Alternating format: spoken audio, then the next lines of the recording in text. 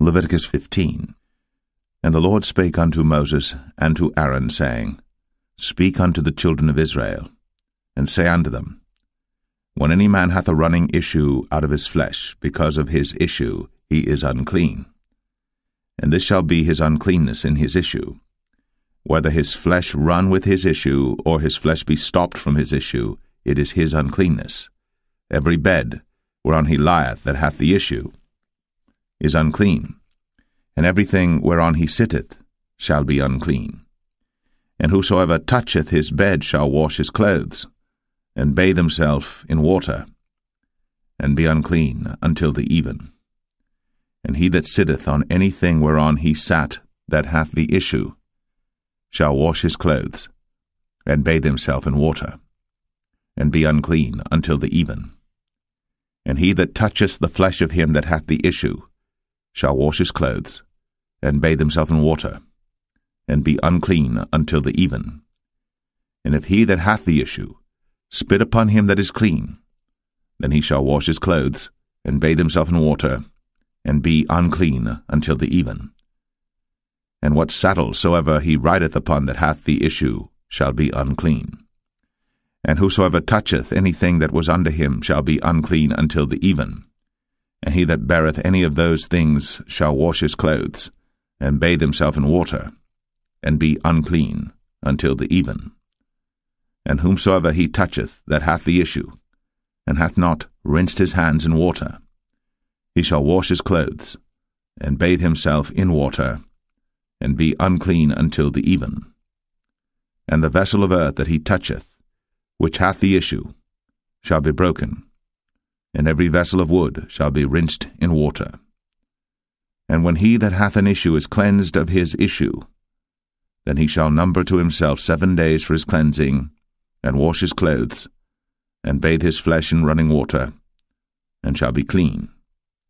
And on the eighth day he shall take to him two turtle doves, or two young pigeons, and come before the Lord unto the door of the tabernacle of the congregation, and give them unto the priest and the priest shall offer them, the one for a sin offering, and the other for a burnt offering. And the priest shall make an atonement for him before the Lord for his issue. And if any man's seed of copulation go out from him, then he shall wash all his flesh in water, and be unclean until the even. And every garment and every skin whereon is the seed of copulation shall be washed with water, and be unclean until the even the woman also with whom man shall lie with seed of copulation. They shall both bathe themselves in water, and be unclean until the even.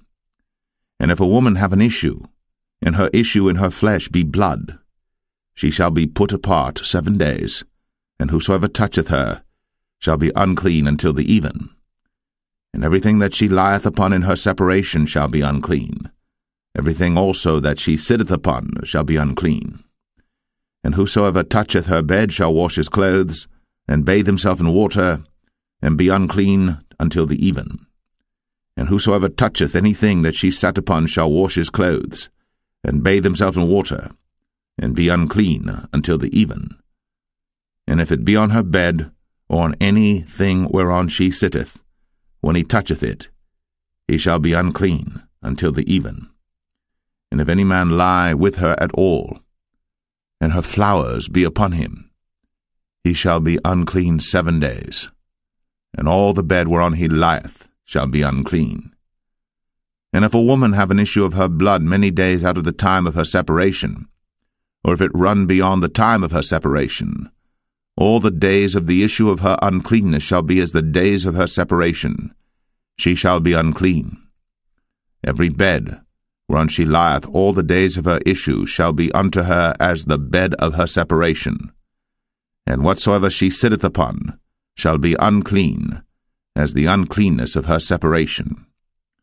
And whosoever toucheth those things shall be unclean, and shall wash his clothes, and bathe himself in water, and be unclean until the even. But if she be cleansed of her issue, then she shall number to herself seven days, and after that she shall be clean.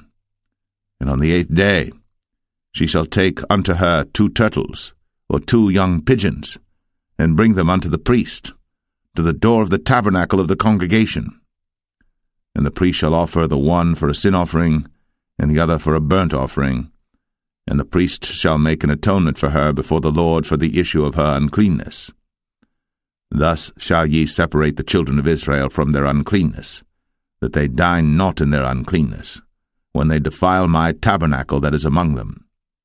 This is the law of him that hath an issue, and of him whose seed goeth from him, and is defiled therewith, and of her that is sick of her flowers, and of him that hath an issue, of the man, and of the woman, and of him that lieth with her that is unclean.